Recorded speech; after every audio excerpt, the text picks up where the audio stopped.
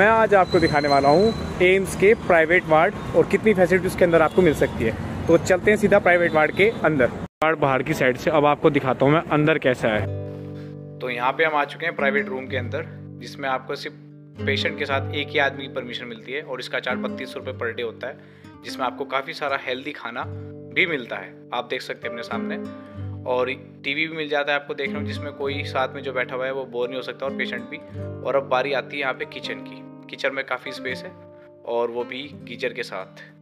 और किचन के बाद आपको दिखाते हैं यहाँ का बाथरूम तो ये यहाँ पे बाथरूम अटैच है यहाँ पे टॉयलेट के साथ।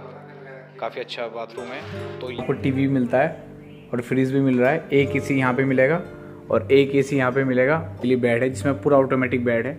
आप एडजस्ट कर सकते हैं अपने हिसाब से। ये पूरा हमने आपको दिखाया यहाँ पे प्राइवेट रूम